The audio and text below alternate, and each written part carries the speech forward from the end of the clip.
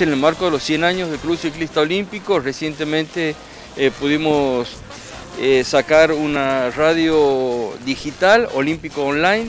Este, en principio tiene un formato netamente musical que calculamos que con el tiempo y en otras etapas va a ir recubriéndose de contenido que tenga que ver con el club, ¿no? las actividades principales, las actividades de los socios este, y también obviamente información, cosas que tengan que ver con la comunidad. Pero por ahora esto en el marco de los 100 años del club es que presentamos esta propuesta, así como cada 9 de cada mes hasta el 9 de diciembre, ¿no? entregamos algo que pueda este, llamar la atención.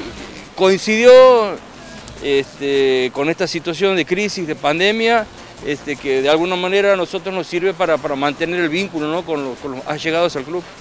Eh, el enlace de esta radio digital se encuentra en las redes sociales del club, en la página web ciclistaolímpico.com.ar.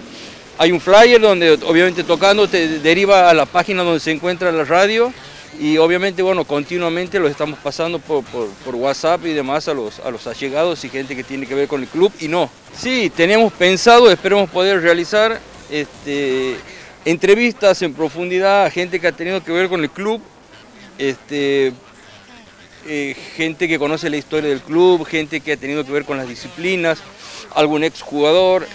Este, tenemos pensado este, en un contexto intimista en el club este, plantear una especie de, set para hacer las entrevistas y que ellos cuenten cómo, ha sido, cómo han visto al club, cómo lo ven ahora. Este, bueno, e, en este contexto de incertidumbre no sabemos si lo vamos a poder llevar adelante, calculamos y esperamos que sí, somos optimistas y llegar más adelante al club, seguramente el presidente de la institución, el doctor eh, Oscar Ledema va a hacer anuncios importantes, ¿no? Eh, llegando a la fecha del aniversario del club. Pequeñas cosas, pero que, nos sirven para mantener el vínculo con los socios y demás, espectáculos musicales, este, que salían por las redes sociales, por YouTube, también por, el Facebook del, club.